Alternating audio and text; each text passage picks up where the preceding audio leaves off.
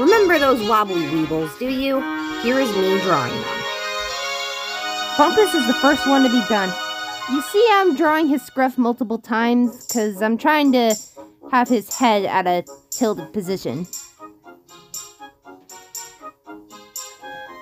You may be wondering why I'm moving my mouse around erratically. That's because I was importing an image because it had the custom colors.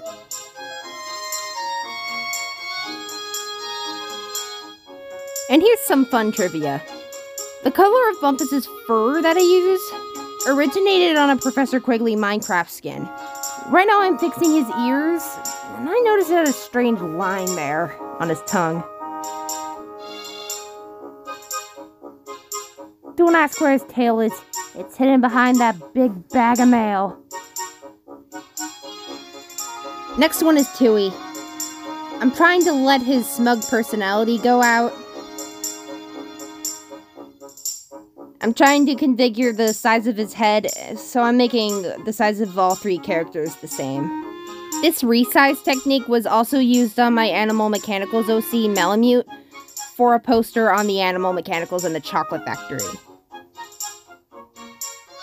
I'm trying to let these sta- wobblers stand back to back, so that is why you're um, shifting the sketch around aimlessly.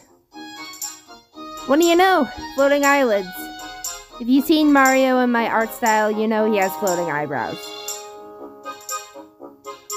You may be asking why Tui has an eye scar.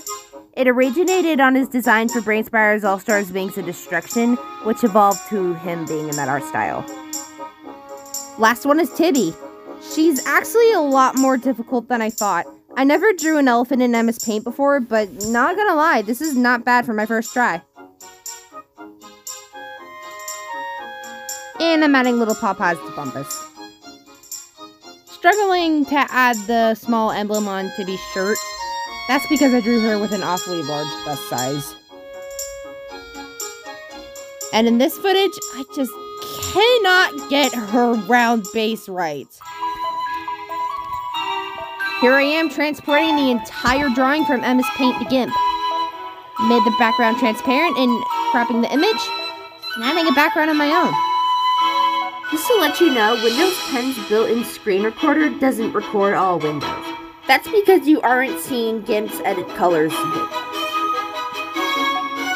Here I'm adding a watermark, and ladies and gentlemen, the entire image is finished.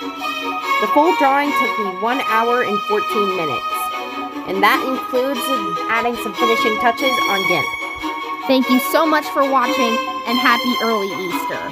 Thanks to current events, families aren't getting together again, because it's just one more sleep until he is risen.